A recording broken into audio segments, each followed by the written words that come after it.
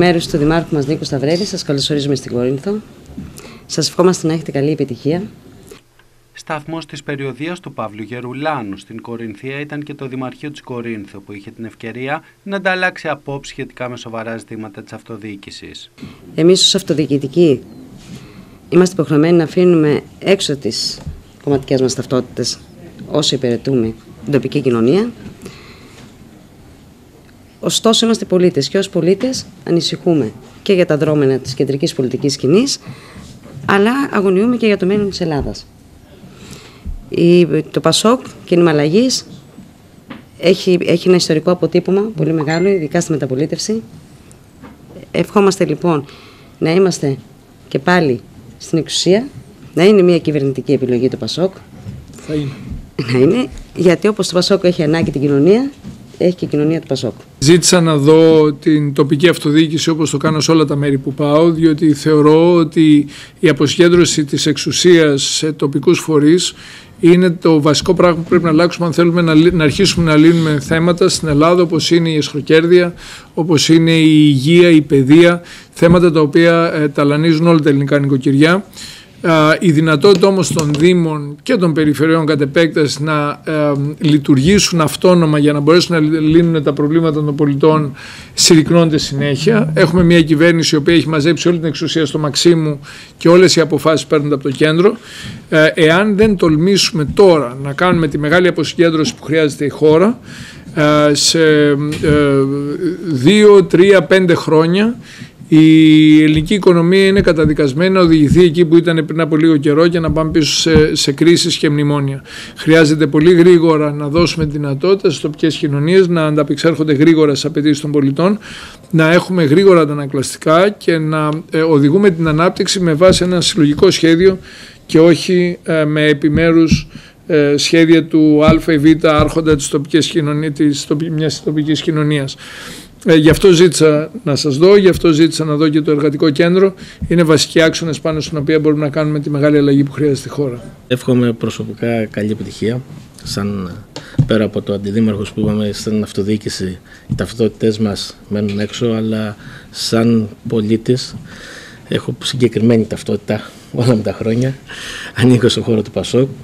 Είμαι πάντα δίπλα στο, στο Πασόκ και πιστεύω ότι είναι ο χώρος που ακούει τον πολίτη, βρίσκεται δίπλα του και θα ήθελα να ζητήσω τώρα μέσα από την αυτοδιοίκηση που υπηρετώ ότι θα πρέπει οι κυβερνήσεις να είναι δίπλα στην αυτοδιοίκηση και να δώσουν περισσότερο, περισσότερη βοήθεια στους Δήμους και να ακούσουν τους Δημάρχους για τα προβλήματα γιατί είναι αυτοί που μεταφέρουν τα προβλήματα των πολιτών στην κεντρική κυβέρνηση. Και πάλι καλή επιτυχία. Να συμπληρώσω αυτά που είπε η Γεωργία Στριμενοπούλου και ο Δημήτρης Μανολάκης ότι τα προβλήματα στο νομό μας και στο Δήμο μας είναι μεγάλα. Φαντάζομαι με τους παραγωγικούς φορούς, φορείς θα γνωρίζετε ότι εκτός από την έλλειψη προσωπικού στο Δήμο Κορινθίων, όπως και στους άλλους Δήμους που θα συναντάτε και τους Δημάρχους που είναι σοβαρά τα προβλήματα έλλειψης προσωπικού που δημιουργούν τις λειτουργίες στο Δήμο, είναι και η λειψιδρία και η κλιματική αλλαγή που πλήττει και τον Δήμο μας. Θέλουμε να πιστεύουμε ότι η νέα με την εκλογή του νέου Προέδρου του ΠΑΣΟΚ, το ΠΑΣΟΚ θα επικεντρωθεί και θα είναι δίπλα σε όλους τους Δήμους, διότι όσο περνάει ο χρόνος, νομίζω και η κλιματική αλλαγή αλλά και το θέμα του προσωπικού των Δήμων, που είναι για μένα τα δύο μεγάλα κεφαλαιώδη ζητήματα που θα επηρεάσουν στο μέλλον τους Δήμους, θα πρέπει να λυθούν άμεσα. Σας ευχαριστούμε και πάλι και καλή επιτυχία στις εκλογές της 6 Οκτωβρίου. Ο κύριος Γερουλάνος και πάλι στο Δημαρχείο συνάντησε τον πρόεδρο του Επιμελητηρίου Κορινθίας Παναγιώτη Λουζιώτη μαζί με τον Μανώλη Γαϊτάνο. Και εμείς με την, ε, από τη μεριά μας, ένα Επιμελητήριο Κορινθίας, ε, σας καλωσορίζουμε στην Κόρινθο. Ε, θεωρώ ότι είσαστε ένας άνθρωπος ο οποίος η πορεία σας στην ε, πολιτική όλα αυτά τα χρόνια έχει δείξει ότι αν μη τι άλλο έχετε φρέσκες ιδέες και είσαστε ανοιχτός και στο να ακούτε αλλά και στο να προτείνετε. Είχαμε πρόσφατα στην περιοχή σας που είχαμε μια γενική συνέλευση και μία επαφή μαζί σας και έχουμε πει τα προβλήματα σίγουρα δεν έχουν χρώμα.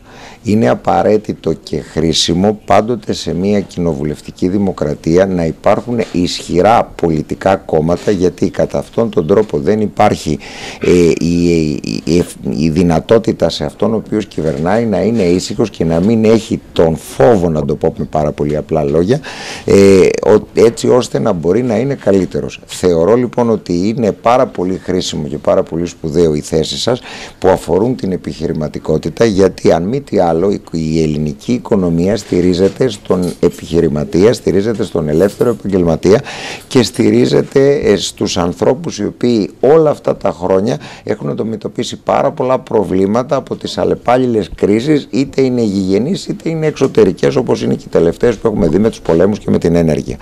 Θεωρώ λοιπόν πάρα πολύ σημαντικό ε, να μπορεί τη φωνή σας να είναι δυνατή και είστε ένας άνθρωπος που έχετε αποδείξει ότι δεν φοβάστε τα λόγια σας, τις θέσεις σας να τις προασπίζεστε. Σας εύχομαι λοιπόν για μια ακόμη φορά εκ μέρους του Μιλητηρίου καλή επιτυχία ε, και ευελπιστώ ε, ότι θα είσαστε αρρωγός στην προσπάθεια την οποία κάνουμε έτσι ώστε να έχουμε καλύτερες συνθήκες επιχειρηματικότητας για όλη τη χώρα και προφανώς και για την Κορινθία μας. Θέλω και εγώ με τη σειρά μου να ευχαριστήσω τον πρόεδρο του Επιμελητηρίου. Ε, πράγματι είχαμε μια ωραία συνάντηση στη, στα δικά μου τα μέρη, στην Κεφαλονιά για, με τα επιμελητήρια ε, από το οποίο προέκυψε πολύ ξεκάθαρα ότι το επιμελητήριο είναι ένας θεσμός ο οποίος μπορεί να συμμετέχει πάρα πολύ ενεργά σε οποιαδήποτε προσπάθεια αποσκέντρωσης εξουσίας έτσι ώστε οι τοπικές κοινωνίες να μπορούν να κάνουν τα δικά τους προγράμματα ανάπτυξης. Το επιμελητήριο λόγω ακριβώς των μελών του και των δυνατοτήτων του είναι κομβικό στο να μπορέσουμε πραγματικά να κάνουμε ε, μεταφορά εξουσιών με πραγματική λογοδοσία.